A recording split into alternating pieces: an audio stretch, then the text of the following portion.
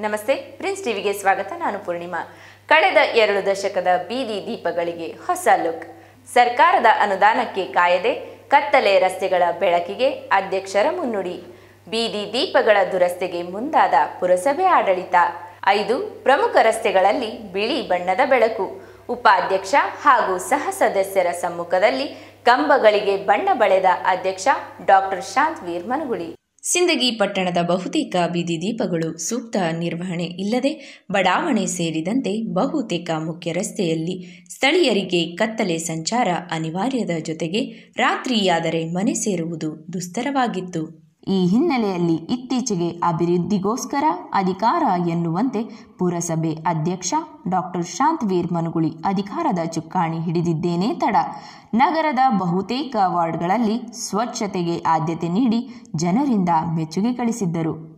ಇದೀಗ ಅವರ ತಂದೆ ಸ್ಥಳೀಯ ಶಾಸಕ ದಿವಂಗತ ಎಂ ಸಿ ಮನುಗುಳಿ ಅವರ ನಿಧನದ ದುಃಖ ಮರೆಯುವ ಮುನ್ನವೇ ಅಧಿಕಾರಕ್ಕೂ ಮುನ್ನ ಜನರಿಗೆ ನೀಡಿದ ಭರವಸೆಯಂತೆ ದುಃಖದ ಸ್ಥಿತಿಯಲ್ಲೂ ಪಟ್ಟಣದ ಸಾರ್ವಜನಿಕ ಸಮಸ್ಯೆಗೆ ಸ್ಪಂದಿಸುತ್ತಿರುವುದಕ್ಕೆ ಮತ್ತೆ ಜನರ ಮೆಚ್ಚುಗೆಗೆ ಪಾತ್ರರಾಗಿದ್ದಾರೆ.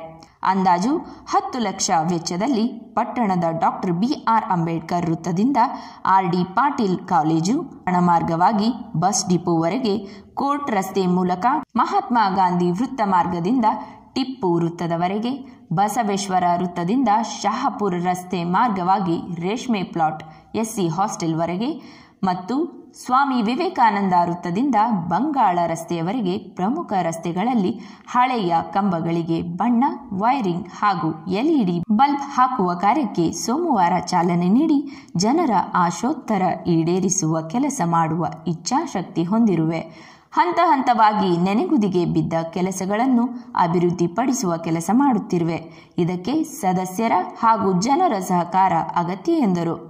ಈ ವೇಳೆ ಉಪಾಧ್ಯಕ್ಷ ಹಾಸಿಂ ಪೀರ್ ಆಳಂದ್, ಸದಸ್ಯೆ ಪ್ರಭಾವತಿ ಕಲ್ಲೂರ್, ಗೊಲ್ಲಾಳಪ್ಪಗೌಡ ಪಾಟೀಲ್, ಬಸವರಾಜ್ ಸದ್ದನ್ನು ಸತೀಶ್ ಬಿರಾದಾರ್, ಪ್ರವೀಣ್ ದುರ್ಗಿ, ಮಹಾಂತೇಶ್ ನಾಯ್ಕೋಡಿ, ಮಹಮ್ಮದ್ ಪಟೇಲ್ ಬಿರಾದಾರ್, ಮುಖ್ಯಾಧಿಕಾರಿ ಸುರೇಶ್ ನಾಯಕ್ ಸೇರಿದಂತೆ ಮತ್ತು ಇತರರಿದ್ದರು. ಹೆಚ್ಚಿನ ಮಾಹಿತಿಗಾಗಿ ಸಬ್ಸ್ಕ್ರೈಬ್ ಮಾಡಿ ಪ್ರಿನ್ಸ್ ಟಿವಿ ಕನ್ನಡ. ನೋಟಿಫಿಕೇಶನ್ಗಾಗಿ ತಪ್ಪದೆ ಬೆಲ್ ಐಕಾನ್ ಅನ್ನು ಕ್ಲಿಕ್ ಮಾಡಿ. ಲೈಕ್ ಮಾಡಿ, ಶೇರ್ ಮಾಡಿ.